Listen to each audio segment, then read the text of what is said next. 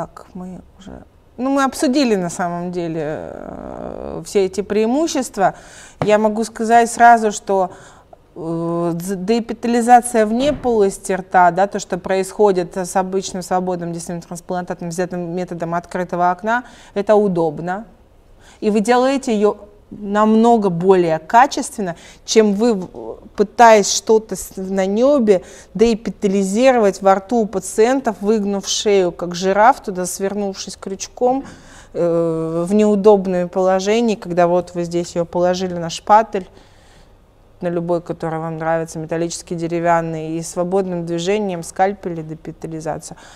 Оговорюсь по поводу лезвий. Вы делаете забор одним лезвием, меняете, депитализацию делаете новым.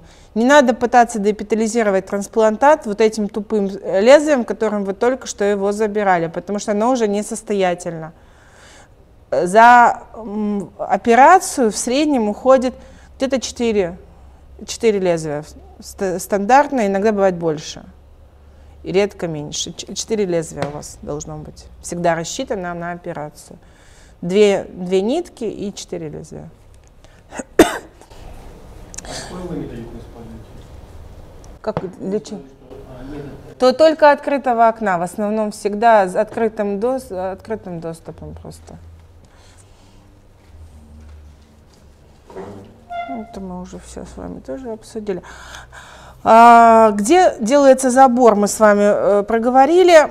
Э, бугор верхней челюсти, прекрасная история, если он есть. Опять же, да, если там э, стоит восьмой зуб, его нету, или нету его, бывает по каким-то анатомическим сложным э, ситуациям. Но так, конечно, если он есть, и там менее травматично его можно забрать, то это тоже прекрасная соединительная ткань, которая там э, будет у вас, у него хорошее, очень высокое качество этой соединительной ткани, потому что там присутствуют именно в области бугра все четыре типа коллагеновых волокон. Это очень важно для его выживаемости. Извините. Вот это вот про этот метод, это ответ на ваш вопрос. Вы просто чуть-чуть э, вперед зашли. Это прямой метод измерения толщины, разрез и забор трансплантата. И э, я попросила недавно ассистента посчитать, сколько у нас это время занимает. 4 минуты вместе с ушиванием раны. Вот ровно 4 минуты занимает забор трансплантата. Что? Технику покажете? Да, конечно. Мы сейчас, я вам на слайдах, а потом у нас мастер-класс же сегодня будет. Я все покажу, не переживайте. Что? Каким мастер-классом? Сразу. Ну, я поняла. Скальпель C15. Это то, что вам нужно. Это инструменты, которые у вас должны быть в арсенале. И травматичный микрохирургический пинцет. Потому что когда вы делаете забор, непосредственно вы его да, отслаиваете от э, принимающего ложа, вы держите травматичным пинцетом его. Ушивание я, я ушиваю кетгутом, просто э, какими-то такими непрерывным крестообразным швом, там 2-3 шва, зависит тоже от протяженности вот этой донорской зоны. Если она длинная, то непрерывным швом таким укладываю коллагеновую губку или гемостатическую и ее фиксирую. Все, там ничего больше, ничего не придумать там больше. Ушиваю специально кетгутом, потому что, по сути, там нужна фиксация губки на первые сутки, а потом оно швы у всех по-разному рассасываются. Есть пациенты, у которых кетгут не рассасывается, мы тогда приходится через неделю снимать, чтобы они там не мешали. Ну а так в основном ушивание происходит традиционными методами. Фиксация всех видов трансплантатов проводится либо простыми узловыми швами, если мы используем какие-то карманные э, методики или тоннельные методики, это швы на вожжах. Э, и я всегда приж... использую прижимающий крестообразный вертикальный шов матрасный. Всегда. Вообще, и всегда, когда я использую свободный несемый трансплантат, я всегда использую крестообразный шов прижимающий.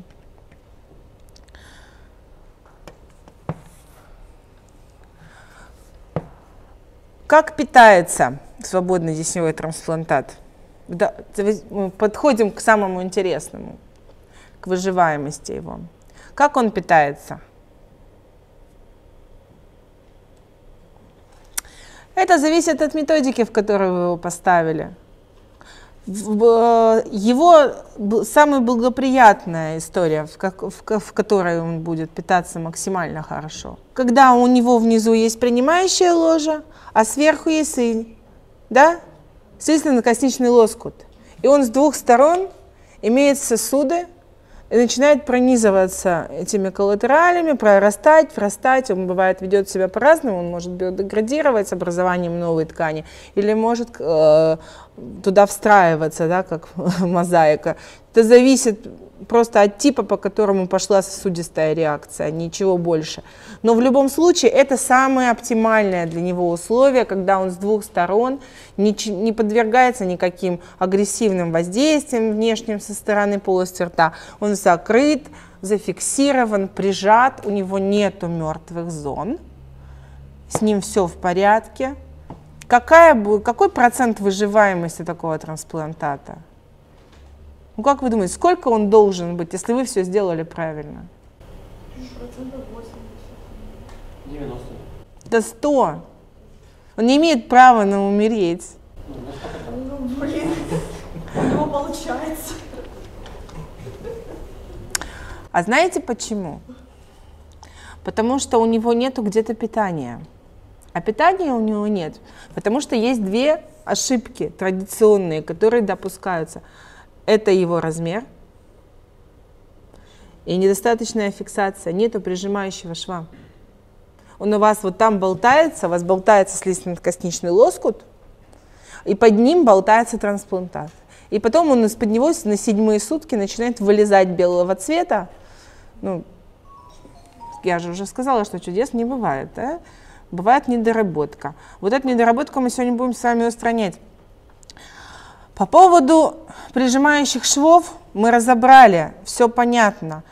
Вы просто для себя всегда имейте в виду, взяли трансплантат, мы его прижимаем. Его не столько пришить надо, сколько его прижать. Ну вот профессор Вассерман, царство ему небесное, говорил, что не убивайте швами трансплантат не, не фиксируйте его во все, в восьми позициях, это не нужно делать. Его надо, вот вы его зафиксировали двумя шовчиками, этого достаточно. Дальше ваша задача его максимально прижать к принимающему ложу. А теперь давайте разберемся, к чему мы прижимаем трансплантат. Что у нас на принимающем ложе?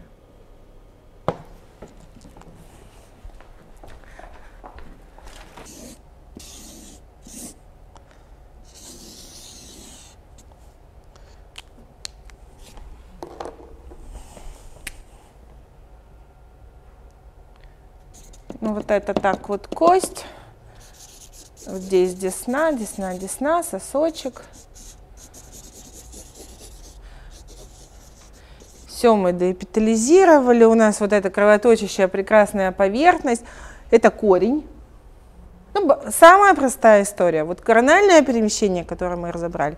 А теперь скажите, пожалуйста, а какого размера должен быть трансплантат? Ну куда мне сделать? На, на еще на два зуба соседние?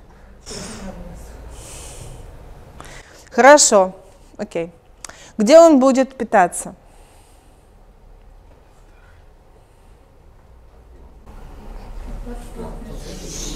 Здесь и здесь. А что здесь будет? Это называется мертвая зона. Вот она.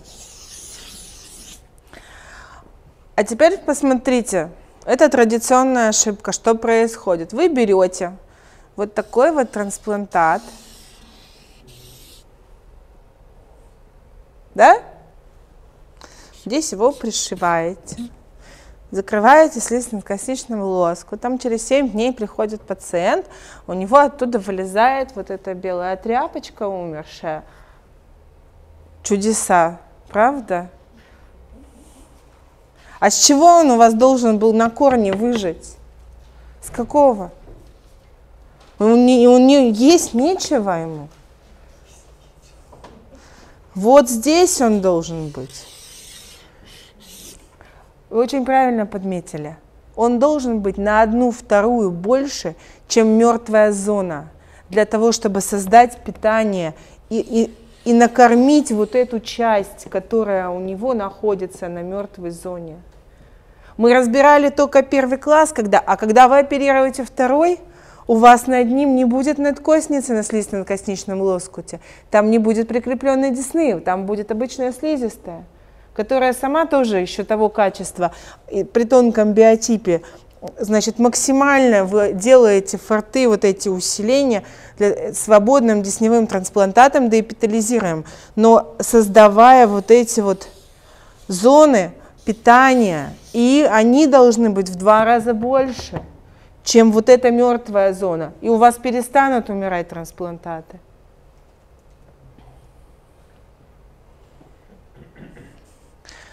зафиксировали, можно одним швом, не обязательно даже двумя здесь, положили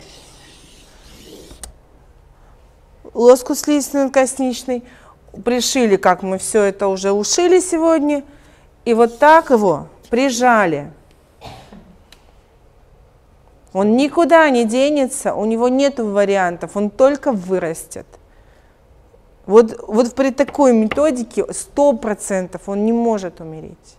Если вы все сделали правильно, если вы его не истончили, если вы его нигде не убили и, и выбрали правильный размер, он его не обязательно... Вот Зукеля, кстати, говорит, что он вообще стал их брать 4 миллиметра высотой. Ну вот это ширина 4 миллиметра. Он вообще перестал брать вот эти широкие трансплантаты. И у него все это выживает, потому что самое главное, его правильная длина для того, чтобы создать питание.